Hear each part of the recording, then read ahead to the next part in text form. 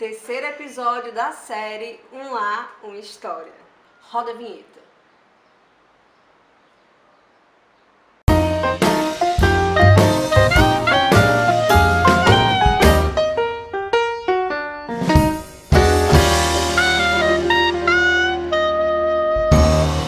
Oi, gente, tudo bom? Chegamos a mais um episódio.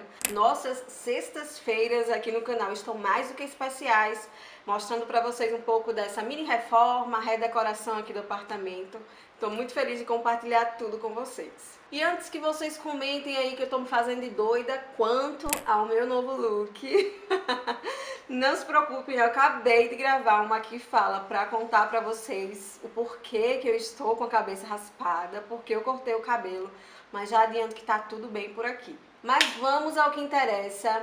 Gente, uma coisa que eu não comentei com vocês é que a gente tá fazendo tudo aqui em casa aos poucos, nos finais de semana, porque meu esposo tá trabalhando normal, independente de quarentena. Então ele sai todos os dias, enfim, chega super tarde e durante a semana a gente não consegue fazer nada, né? Então as coisas elas estão acontecendo um pouco devagar mesmo. É, caso estivéssemos todos os dois em casa todos os dias, seria um pouco mais rápido, mas não é o caso.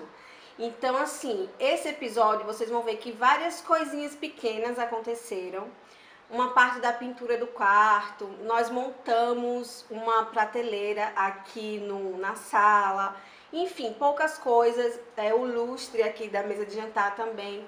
Vocês vão conferindo essas coisas que eu vou colocar para vocês agora no vídeo mas saibam que foram coisas pequenas e espaçadas por esse motivo. A gente não tem tanto tempo para fazer. Fizemos toda a volta e a mesma coisa aqui, ó. Entre o canto da parede até a fita, uma medida certinha para ficar determinado o local da pintura. Nesse caso, a gente também vai pintar a porta, inclusive vamos pintar com a tinta da parede. Se vai dar certo, não sei, não sabemos. Vocês vão saber junto com a gente. Só que eu só vou pintar a porta o lado de dentro para ficar uma caixa de uma cor só aqui, ó. Quando vocês verem a cor, vai dar para entender melhor.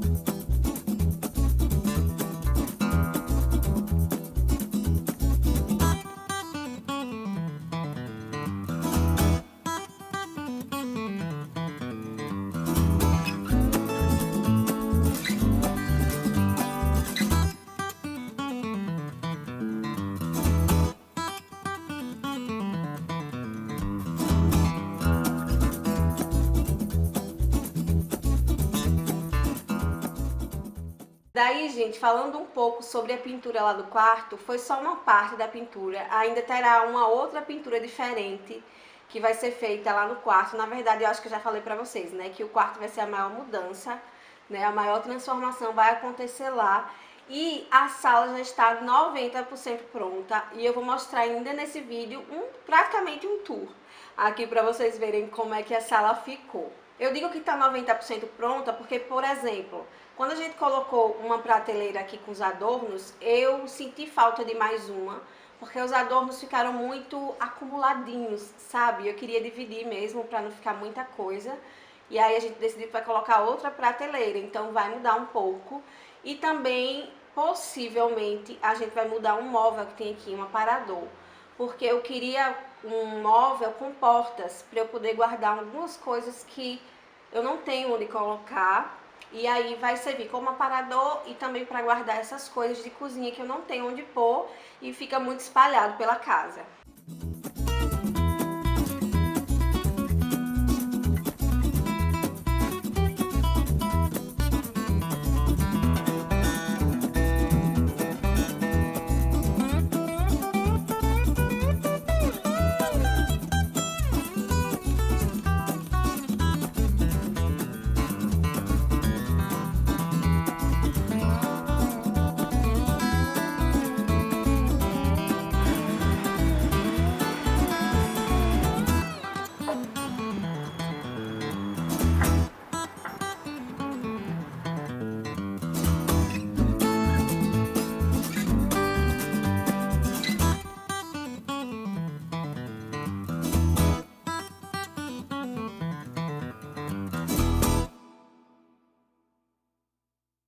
Coisa que vai mudar ainda aqui na, na sala é o hallzinho ali de entrada que eu já mostrei pra vocês no primeiro vídeo.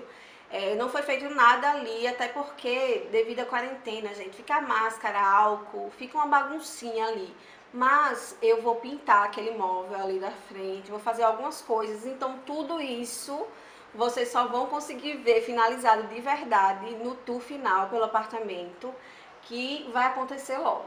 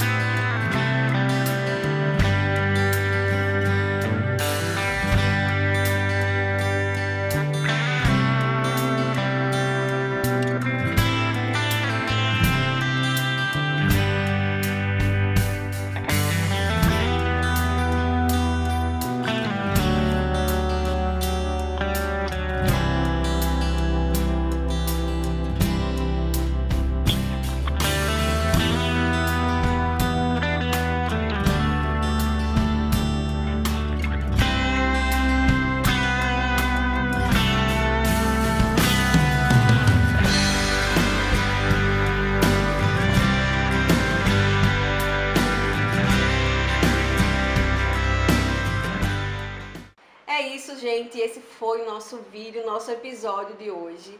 Eu espero muito que vocês estejam gostando de acompanhar, de repente até estejam se inspirando para fazer algo diferente aí na casa de vocês, pintar uma parede, colocar uma prateleira, enfim, uma decoração nova, uma almofada, o que você puder.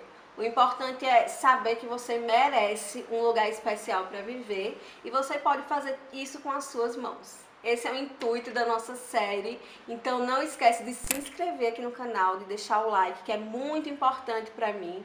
Um super beijo e até o próximo. Tchau!